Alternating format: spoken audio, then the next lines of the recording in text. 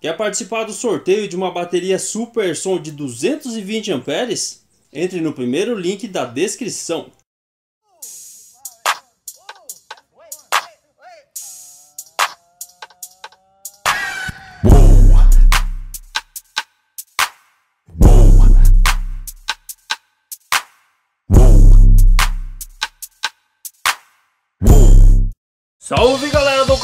Beleza? Aqui é o Fernando do canal Som Sem Fronteiras, estou indo gravar mais um vídeo para vocês no vídeo de hoje eu vou fazer as últimas, últimas coisas aí que eu tenho que fazer para tá fazendo a instalação do meu som, galera. Dá uma olhada nos fios que eu acabei de comprar, pessoal. Fio de 50, de 70, de 25. Esses fios aqui vai dar certinho para fazer a instalação de todo o som. Mas não é só instalar, pessoal. Falta alguns detalhes ainda. Por exemplo, os terminais, pessoal. Tá faltando terminal, porque eu tenho seis baterias e aqui tem terminal para quatro baterias. Mas eu vou estar fazendo dois pares de terminal terminais. Então no vídeo de hoje eu vou estar tá mostrando aí os preparativos finais para estar tá fazendo tão esperada instalação dos HD 15000. Então vamos deixar de enrolação, galera. Eu já vou começar fazendo esses terminais. Os terminais aqui que eu vou estar tá me inspirando, né, galera? São esses terminais tops aqui que eu comprei do Hotner, né? Barramentos e terminais. No caso, inspirado nesses terminais, eu vou estar tá fazendo os outros terminais para o meu som. Os terminais que eu vou estar tá fazendo vão ficar exatamente iguais a esse, pessoal, mas vão ser funcionais. Então eu vou fazendo e eu não vou falar muito não, eu vou mostrar para vocês como que vai ser.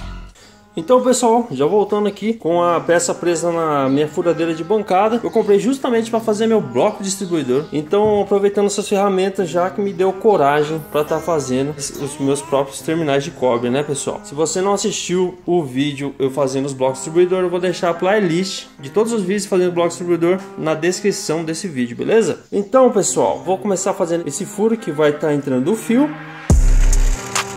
então, pessoal, eu comecei furando com essa broca um pouco mais fina, né? Para depois estar tá furando com a broca número 11, que é a broca mais grossa, que vai estar tá entrando certinho o meu fio de 50 milímetros. Não tá bem no meio o furo, mas como vocês podem ver, o furo desse terminal também é, não é bem no meio, porque essa parte de cima aqui, que é um pouco maior, é justamente para estar tá fazendo a rosca para entrar o parafuso. Então, isso é muito importante. Então vou furar todas as peças, né, as quatro peças que eu tenho para fazer os terminais e vou estar tá voltando aí para fazer o furo maior, né? Lembrando que esse furo aqui tem a profundidade de 2 centímetros. Bom pessoal, estou voltando aqui com as, todas as peças furadas aqui já, né, com a broca mais fina. E agora já está aqui a, a broca de 11 milímetros que vai servindo para colocar o fio de 50 milímetros. Vamos dar continuidade ao trampo então, né pessoal?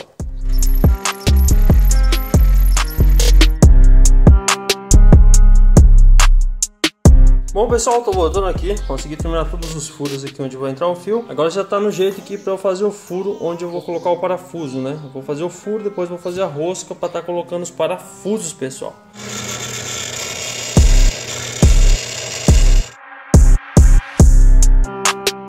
Bom pessoal, eu, eu, fiz esse furo aqui, né? Mas com a mesma broca eu já vou estar tá fazendo furo na ponta do terminal, né? Nesse furo aqui que vai o parafuso para estar tá parafusando ele na bateria. Então eu já vou fazer ele com a mesma broca, que esse daqui é a broca certinho.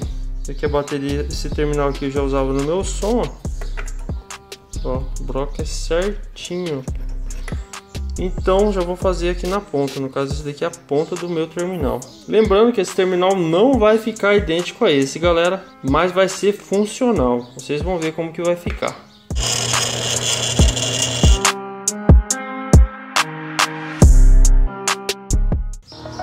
Bom, agora que eu já furei, né, a parte da frente aqui, eu vou abrir mais esse buraco aqui para depois estar tá passando o macho manual para estar tá colocando parafuso aqui, galera.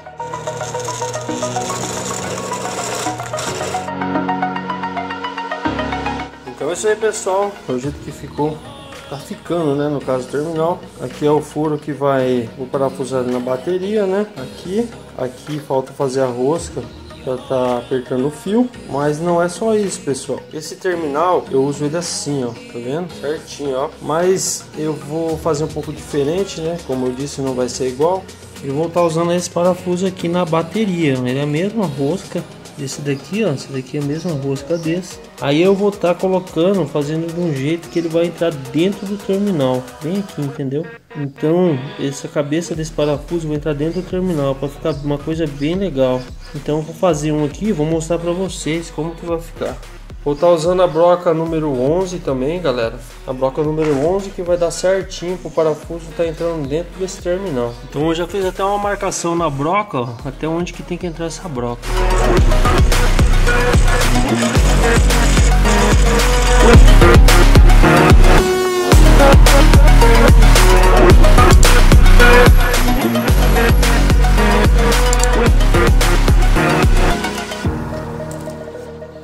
Veja só como que ficou, pessoal. É assim que vai ficar o terminal, ó galera. O que vocês acharam? Ficou legal ou não?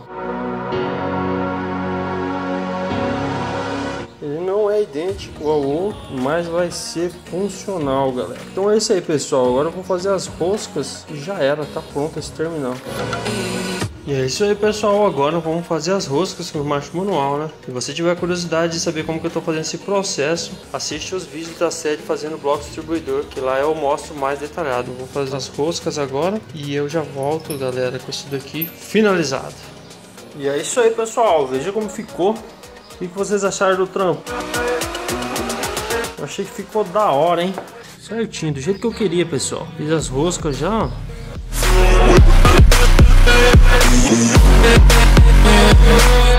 então é isso aí, pessoal.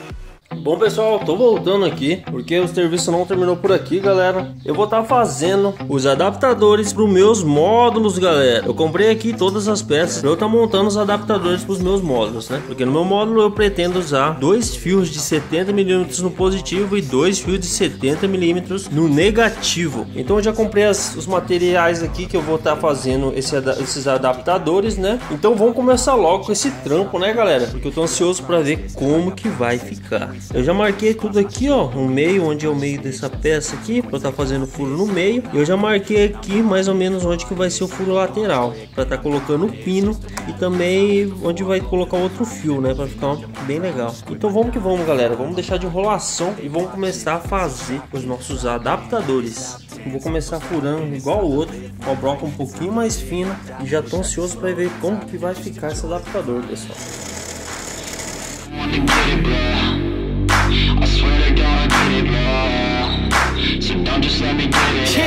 Bom pessoal, terminei de furar, esse furo aqui vai o pino, então agora eu vou estar tá furando, né, esse, esses dois furos aqui que vai o fio, com a broca número 13, né, que vai encaixar certinho o fio 70mm, mas entra certinho mesmo galera, então vamos que vamos né pessoal.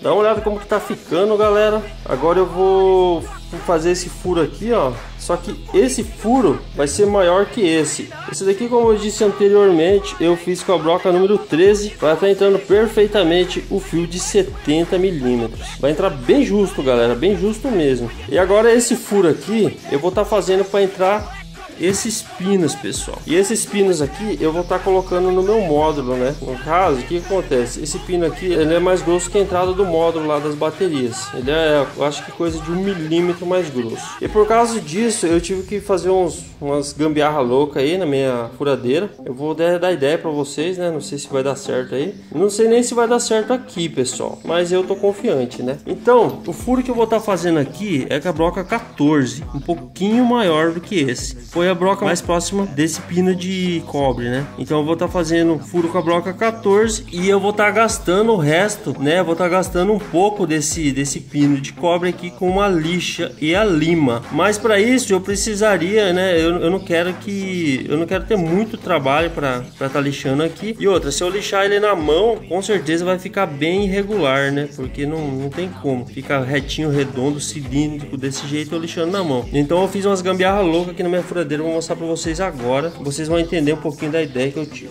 Então, pessoal, eu comprei um mandril novo para minha furadeira. Minha furadeira usa um mandril de encaixe, ele não é rosqueado. Eu vou estar tá trocando esse mandril aqui, eu vou estar tá colocando esse outro mandril. Os dois são da mesma medida, exatamente iguais Mas a diferença é que esse daqui eu levei lá na tornearia e mandei ele abrir esse buraco aqui, pessoal. Dá uma olhada. Esse buraco aqui é maior que esse daqui, ó. Tanto que nesse mandril aqui nem entra a broca número 14. Mas nesse daqui já entra a broca número 14. Porque eu mandei o cara abrir esse, esse furo aqui, né? Mas eu levei com base nesse pino aqui. No caso eu levei esse pino aqui e esse mandril pro cara lá na tornearia. E ele abriu esse buraco aqui que vai entrar certinho. Então eu vou estar tá colocando aqui esse mandril na minha furadeira e vou estar tá mostrando para vocês como que eu vou fazer.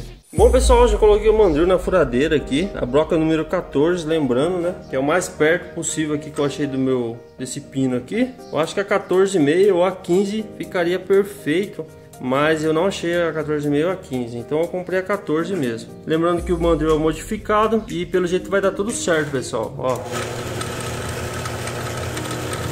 Tá bem alinhadinho, achei que ficou bem legal, porque a gente modificando, né, abrindo aqui, eu fiquei com medo de não ter ficado centralizada essa broca, né, porque tem, corre esse risco, né, mexendo, modificando. Mas ficou perfeito, pessoal. Então agora eu vou estar tá abrindo esse furo aqui, né, pra estar tá colocando o pino, né, esse pino aqui de cobre, pra estar tá terminando já de fazer nosso adaptador pro módulo.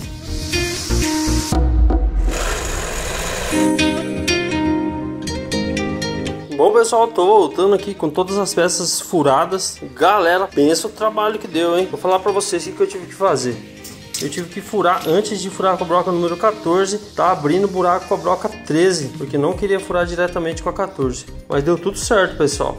Um pouquinho de trampo a mais aí, mas deu tudo certo. O importante é isso, né, galera? Dá uma olhada em como ficou.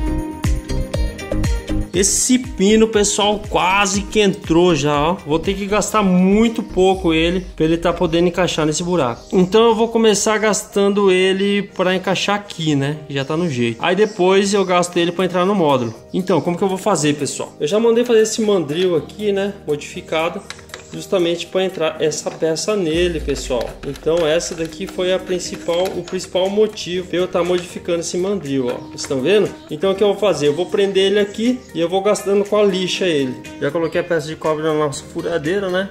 Já deixei certinho o espaço que eu vou ter que gastar. E já separei a lixa, né? Uma lixa de ferro número 100 já tá comendo um pouco rápido, né? Então eu vou gastando ele e eu já vou testando aqui mesmo para ver se vai ficar bom ou não.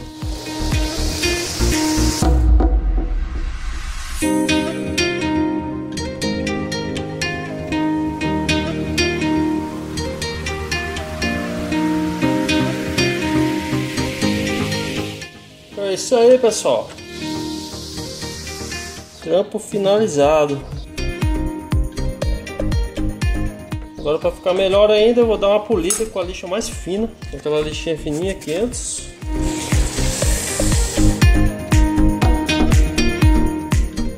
Isso aí pessoal trampo finalizado com sucesso. Então é isso aí, pessoal. Então agora a gente vai fazer, né, afinar essa parte da frente do pino para estar tá colocando no módulo, né? No caso, esse adaptador vai, vai ser assim. Aí a gente vai colocar esse pino aqui no módulo, né? O módulo já tá aqui no jeito. Aí, galera, HD 15000. Aí eu tenho que afinar esse pino para estar tá entrando aqui, ó. Eu vou ter que afinar um pouquinho mais do que ele já tá, ó. É que ele não entra. Então eu vou ter que afinar essa parte aqui um pouco mais fino que essa daqui, ó. Aí vai ficar perfeito. Everybody look at Hollywood Doing it, doing it, doing it good. Everybody look at Hollywood Doing it, doing it, doing it good. Everybody look at body, look at body, look at body, look at body Certinho, pessoal. Do jeitinho que eu queria, galera. Você é louco